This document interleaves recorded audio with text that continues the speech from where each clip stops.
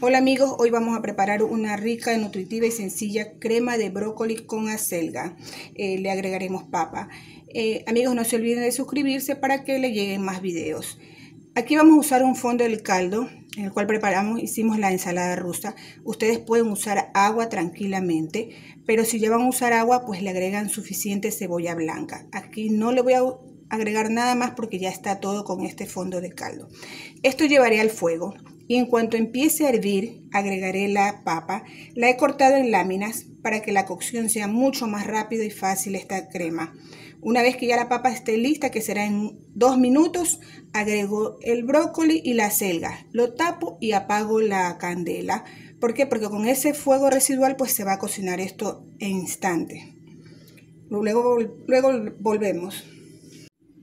Amigos, después de tres minutos de haber agregado la papa, agregaremos la selga y el brócoli picado. Aquí apagamos la llama y dejamos que baje un poco la temperatura para poder licuarlo.